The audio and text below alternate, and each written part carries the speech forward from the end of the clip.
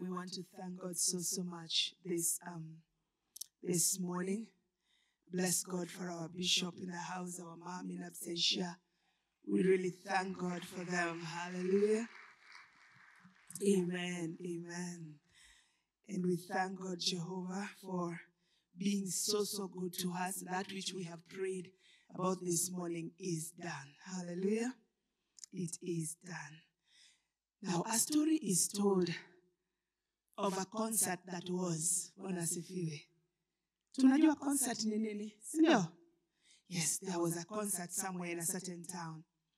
And so in this concert, people came and they were given one specific song to sing. And the song was Amazing Grace. How sweet the sound that saved a wretch like me. So everyone, it was sort of like a competition of sorts, also a concert, but a competition. And so everyone who was coming was coming to showcase how they can sing Amazing Grace. How sweet the sound. And so people came and they sang in style and they sang in skill. And it was amazing. The band was there and they did a terrific job in their playing of the instruments. And then suddenly up came an old man who walked gracefully to the stage. Because you know when it's performance in the stage, come and worship in the altar. So he walked to the stage majestically. And he got hold of the microphone and he sang, Amazing grace, how sweet the sound. Now, he did not know how to put the wavy vocals, you know, how command is a vocal training. In the before he came, when the others were coming and they were showcasing their skills, people would rise up after they would have finished the amazing grace and they would give a round of applause and a standing ovation. Si ndio tunafanyaga? Kama kitu ni poa ni poa. Yeah, so people would stand up and give a standing ovation and a clap, a round of applause. But this man, after he came and sang, he did not have all those skills at all. But after he finished, by the time he was headed to finishing, people were on the floor, people were crying, people were wailing, you know? And by the time he finished the song and was walking off the stage, nobody could rise up to give a shout. Nobody could rise up to give a standing ovation. Nobody could rise up to give a round of applause. But everybody was somewhere lying prostrate, somewhere kneeling, kneeling next to their whatevers, and they were literally crying to the Lord. Bwana. Today, we want to look at the topic worship a spiritual discipline. what does Bwana asifiwe. Worship a spiritual discipline. And as we look at worship, that story that I've given to you, I want you to just keep reflecting on it even as we talk today and get to know, just keep thinking what could have been happening. Why were people on the floor? Why didn't they give him a standing ovation? Why didn't they clap? Why were they crying? What was the difference? Bwana asifiwe. What was the difference? John chapter 4, verses 23 to 24. John chapter 4, verses 23 to 24. We will read that one. What does the Bible say? Let's read it together. But the time is coming, indeed, it's here now, when true worshippers will worship the Father in spirit and in truth. The Father is looking for those who will worship Him that way. 24. Verses 24. For God is spirit, so those who worship Him must worship in spirit and in truth. Let's go back to verse 23. The Bible says what? That the time is and indeed, the time is, it is now. So we are not waiting for a future time. The time has already come. And then the Bible says what? When true worshippers, when you hear the word true, there must be a false somewhere. See, No. Yes, so the Bible says when true worshippers will worship the Father in truth and in spirit. In other words, you can have very many worshippers, but in their midst, God is looking for someone who is worshiping Him in truth and in spirit. This morning, we were worshiping. The, uh, the worship team led us uh, so well in song here. And I'll, I'll tell you why I'm saying in song. They led us in song very powerfully and very well. But you know, even this morning, as we were sitting here, the Father's eye was moving back and forth, seeking to see one or two people who are worshiping Him in truth and in spirit. Why? Because then it means chances are that when we are in a congregation like this one, there are those who are worshiping in truth and in spirit, but there are also others who are not worshiping in truth and spirit. Bwana asifiwe. Hit your neighbor and tell them, are you worshiping in truth and spirit? Praise the name of the Lord. Now, if there is something that has ever bothered me, it is when I'm supposed to be, uh, when I've been given an opportunity or a chance to buy a gift for someone whom I perceive to be so high there, someone whom I perceive to have everything. I don't know whether you always have that problem. You almost want to go asking people, what do you think so and so would require? Because you are not so sure that the thing you want to give them as a gift, you're not so sure whether they will appreciate it. You're not so sure whether they are in need of it. And so you keep moving back and forth, back and forth, and wondering what exactly, what form of a gift can I be able to give? In other words, you find yourself in a dilemma. And many times when we are in a meeting and we desire to give God the best gift, you might think that if I give him a million Kenya shillings, and it is good, by the way, if you have that million Kenya shillings, you can give him in the offering boxes. Bonus, if you, if you have that hundred thousand, you can still do what? Give it. But you keep wondering, is this what will please his heart? Hallelujah. Is this what will please his heart? Now, God knows all things and possesses all treasures in heaven and on earth. In other words, even when we give in that big measure, still he is the one who gave it to us. He owns literally everything. He doesn't, he's in need of nothing. And I remember uh, if you were here during the time when we were discussing about giving, you know what I'm talking about. God owns everything. The Bible says that silver and gold belongs to him. Actually, all that you have and all that I have and I am belongs literally to him. But there is one commodity that the Lord always seeks to have. He longs to have it because he doesn't have it. He cannot do it himself. And that is the commodity that we call worship. He looks for someone who can just come around him and worship him in truth and in spirit. He looks for that one person. And there's a story that is told of a, a pastor who was organizing for a big called uh, music extravaganza. And, and, he had a very beautiful music team or worship team or choir whatever name you're going to call it. it he had a very nice one in his church. And in the process of planning and everything that morning when the music extravaganza was supposed to have it to be have uh, to be done he passed on and then he came back to life because i think he came back to life because who would have told the story? Bwana asifiwe. So, so I'm thinking he must have come back to life. That's a story that is told. And then when he was up, wherever he was, the Lord Jesus started taking him on a tour. And he told the Lord Jesus, you know what? My choir, the best choir in town, was having a music extravaganza. Would you allow me to at least listen to it. And the Lord said, It is okay, we will listen to it with you. But as they were seated and on earth, yeah, on earth, the worship was going on and people had been full in that place. Amazingly, this man of God, together with Jesus, could only hear one voice out of the team of about a thousand people. There was only one voice. And the pastor turned to, the, to, to, to Jesus and asked him, How come I can only hear one voice, yet my choir, I have trained them? It's a big choir. How come I can only hear one voice? And the Lord Jesus told him, It's only one person out of the thousand you have trained who is worshiping me in truth and in spirit. Could you have been that voice this morning?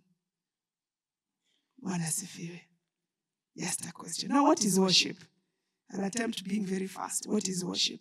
Worship has always been considered as one of the items in the church program. And in most cases, people don't really attach much importance to it. Tunaonaga ni program tu. Eh, uko home unangojea, especially if you're staying around Zimmerman. Bwana asifiwe. Unangojea usikie so and so is singing. Hiyo ni sauti ya Watare.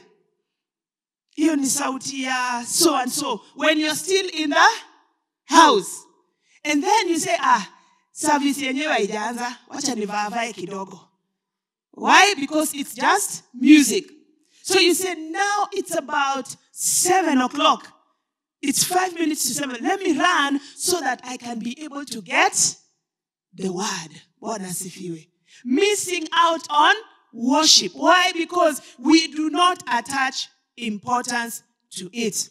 Worship is, however, the art of giving reverence to a supreme being, and in our case here, giving reverence to God. It is giving God the first place in our lives. It is giving God the first place in our lives. And today I want to bring it to us this morning that worship is not good music. Turn to your neighbor and tell them, worship si asifiwe. Worship is not good music. Worship is beyond. Music enhances. Music helps us to worship, but it is not worship in itself. Worship is the art of giving reverence to God. And that is how come even those people who are not able to talk or to hear can still worship God. Yet they do not have the hearing ability because worship is something that goes beyond music. And people around the world worship very many things. Very many things. Even in Kenya, people worship very many things. There are those who worship relationships. There are those who worship their jobs. There are those who worship their businesses. What do we mean by this? Anything that you put ahead of God, that is the thing that you worship. Again, we want to bring it to us because we said today we are looking at worship as spiritual discipline. That which you worship, that which you esteem to be very high, you become like. Hallelujah. You become like that. I'd like us to read the book of Exodus, chapter 20, verses 3. Exodus 20, verses 3. This is what the Bible says. You must not have any other God but me. And so, if you find yourself esteeming these other things that I'm talking about, yeah? If you find yourself saying, I cannot come to the banquet, I have married a new wife. If you find yourself saying, I cannot come to the presence of the Lord, I opened a new business, then you have already created for yourself a God. Bwana asifiwe. Again, turn to your neighbor and ask them, What do you worship? Turn to the other one, and tell them, What do you worship? Mhm. Now, if all those things that I'm talking about and many others are the things that you have put ahead of time, then it's also worth noting that you have just started idolatry, though you do not have a carved image in your house. Hallelujah. Si tunasemaga carved image ndio eh? Carved image. Yesterday, my husband had an opportunity of going somewhere. Way, he's on leave today. So he had an opportunity of going somewhere. Um, they were being taught on how to reach the Asian community for the Lord Jesus Christ. And so at some point, he found himself going to the Asian temple. They were taken to the Asian temple, pale Parklands. Ile imetengenezwa na gold. So they entered there with some friends from Sitam. and as they entered there, he came back and he told me, you know what? I discovered that Indians have 330 million gods. 330 million gods. And they don't have a problem allowing the Christians walking into their temples because if you can bring Jesus into the temple, then they will have 331 million gods. And there are times when we behave like that. We have a God that is called money, we have a God that is called relationships, and Jesus is a part of those other gods. So when you are in need of a relationship, you are here. When you're in need of this other one, you are here. And you don't mind about having Jesus. Tu humu humu. But you know what? The Bible says, you shall have no other God but me. Hallelujah. Amen. Now, there are two elements of worship. There are two elements of worship, and we can find this in the book of Psalms, chapter 40, verses 3. Psalms 40, verses 3. It says, He has given me, this was David, He has given me a new song to sing, a hymn of praise to our God. Many will see what He has done and be amazed they will put their trust in God. But he begins by saying that God has done what? Given me a new song to sing. When the Lord has done something, He puts a song in your heart. Even if your voice cannot be found on the keyboard, He will still put a song in your heart. And from that scripture, we can get the two elements of worship there. Number one is a celebration. When we come to worship, we celebrate. And when we're talking about a celebration, it is more of a vertical relationship. It is more of the thanksgiving you're giving to God. It is more of you saying, Lord, I'm here, I am worshiping you. I'm appreciating you because of who you are. I'm appreciating you because of what you have done. In other words, even me being able to wake up this morning and walk from my house to this place, it has taken Jehovah. Bwana. Me being able to stand in this place, it's not because I am so important. It has taken His grace alone for me to be able to stand here. For me to be able to even put on clothes, it is because of Him. So I come into the church with a heart full of thanksgiving. I'm walking through the doors with heart of praise because I am longing to praise Him. And when I'm walking through the doors in this dimension of praise, I do not care whether the worship team is there or not. I can begin my dance from there. I can begin lifting my hands from the door because it is me the Lord has blessed. It is not just the worship team. Bwana Yesu asifiwe. You know, many times we go home and we say, akila worship ilikuwa dry. Uliona vile hiyo worship team ilifanya. Ah, ah. The question is, did you have a praise in your heart? Bwana asifiwe. This team only comes to help us out. They have picked a, a line of songs that will help us be able to vocalize that which the Lord has done. But if today you walked into this sanctuary and they had not reached, or you walked into this sanctuary on a Monday morning because the Lord has done it for you, it could be empty. The pews are empty, but you're walking with a bounce on your feet because He has done it for me. Bwana Yesu asifiwe. It does not need your neighbor. It only needs you and God, an audience of one.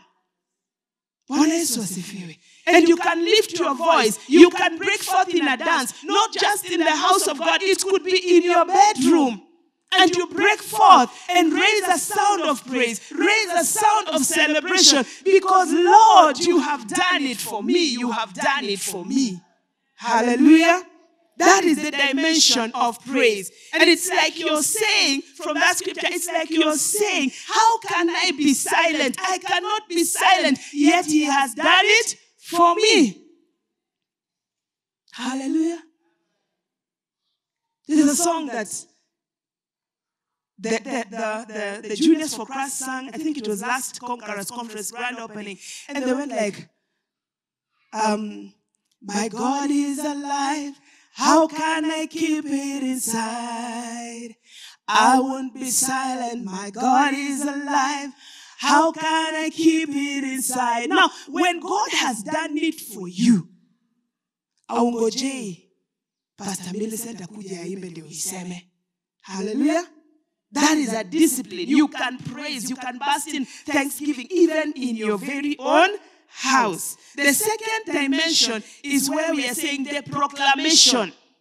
Proclamation. He has done it. You are celebrating. But now it's proclamation. Proclamation, in as much as celebration is more of you and Him, you're thanking Him, you're appreciating Him for what He has done. You're not keeping silent. But now, when you come to proclamation, I will come here to my sister Rosemary and I tell her, You know what the Lord did it for me.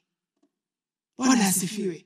Imekataa kukaa ndani. I am proclaiming what the Lord has done. I am standing and I'm not keeping quiet. I am praising Him, but I'm also talking to my brother and sister here. And I'm telling them the Lord has done it for me. Bwana sifiwe. Hallelujah. It's like you're telling them, amenitendea. Unajua jana sikuwa na pesa ya kununua food. Amenitendea. You know my so and so was unwell. Amenitendea. You do a proclamation. Hallelujah. Now, as we read John chapter 4, John chapter 4, uh, verses 19 to 20, verses 19 to 20, this is what the Bible says. Sir, the woman said, You must be a prophet. This is the story of the Samaritan woman who has come to fetch water at lunch hour when it's hot because she does not want to meet with very many people. And then she meets Jesus waiting for her there. And Verse, verses 19 again, it says, Sir, the woman said, You must be a prophet. Verses 20. So tell me, why is it that, the, that you Jews insist that Jerusalem is the only place of worship, while we Samaritans claim it is here at Mount Gerizim, where our ancestors worshipped? Many times.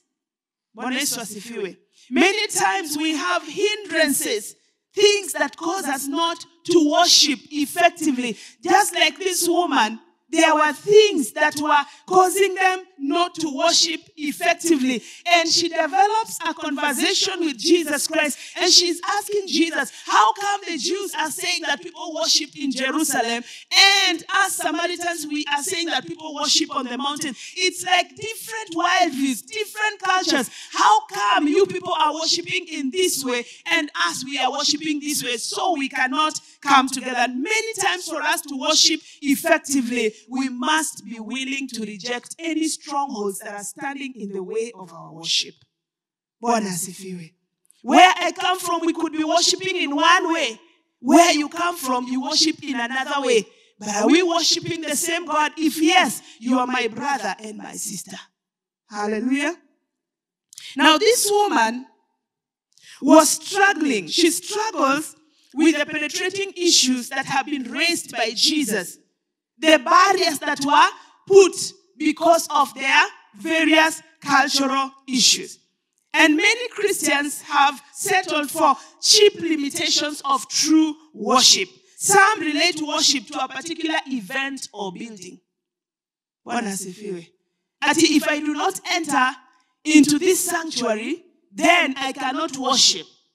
Now, let me tell you, worship should be a lifestyle. You can worship from Monday to Monday. When you come into the church, you just join up with the rest of the people because of the celebration, the proclamation part. But worship is not limited to the church or to this building that we have here. Hallelujah. You can worship in your house.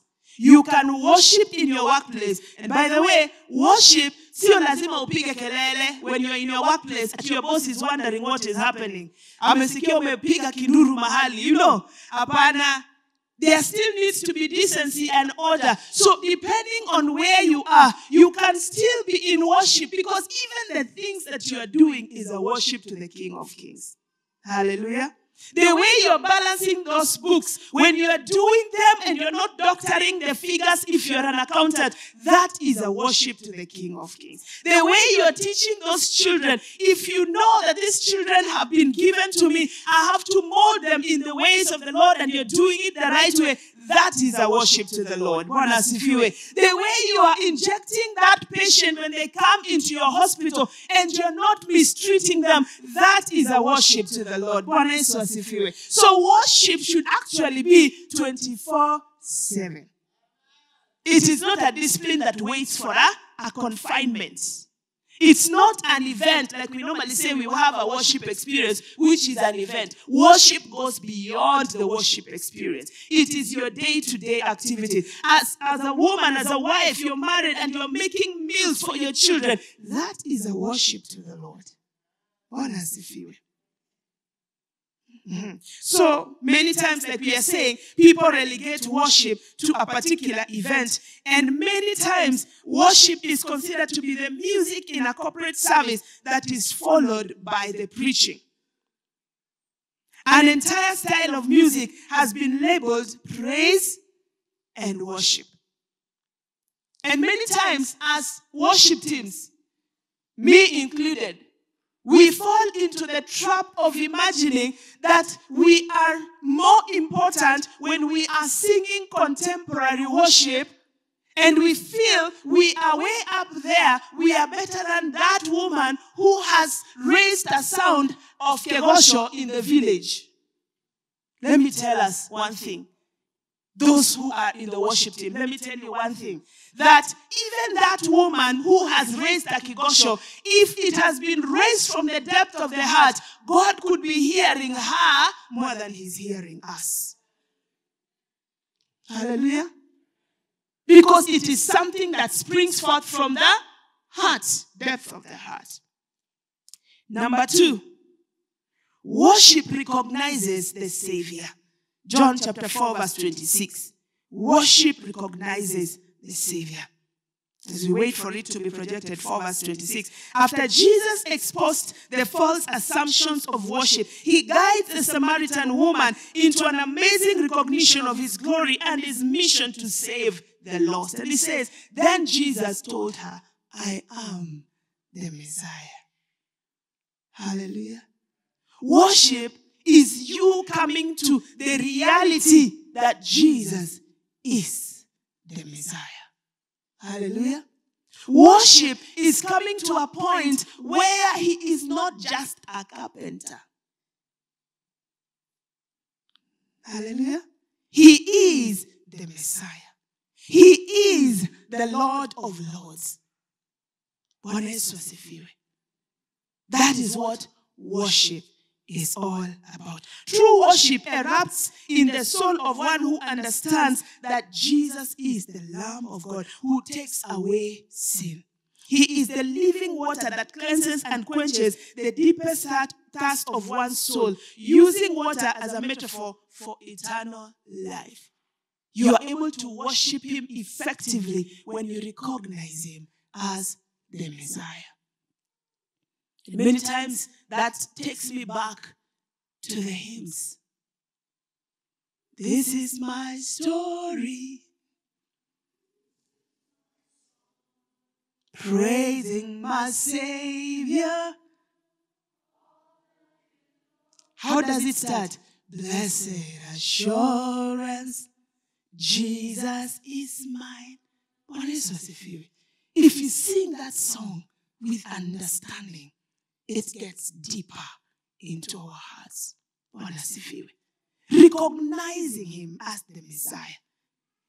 And worship is centered around scripture. Around scripture. That is the third point. Worship is centered around scripture. I'll say this, then I'll sit down. Worship is centered around scripture. You must know what the Bible says about him who died and rose again. You must know what the scripture says about him. Because it's only when I know what the Bible says about him that I'll be able to say, I'll be able to say that he is my Lord. Hallelujah. I'll be able to say, at the cross, at the cross. Bwana asifiwe. At the cross, at the cross. All my attention, because worship is about Him. It's not about me. It's about Him. It's more vertical. It cannot come back to me. Hallelujah. Praise the name of the Lord. That is what worship is all about. When you it, it is centered around scripture. When it is centered around scripture, you will not rise up as a Christian and begin singing ananipenda leo kuliko jana. Which scripture says that? His love remains the same. He is the same yesterday, today, and Bwana Yesu asifiwe. When you know that He has raised you and seated you with Christ in heavenly places, you will not go singing anguka nayo. Unaanguka ukienda wapi? Bwana Yesu. There are certain things that we find ourselves singing because it's a popular opinion. Bwana.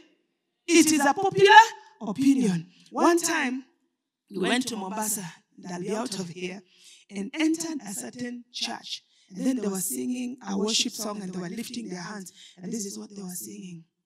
Shetani naye. Wamefunga macho. Bwana asifiwe. Na wameinua nini? Shetani naye anainama, anainuka, anaona moto, anatoroka. Who is being worshipped in that song? Bwana Yesu asifiwe.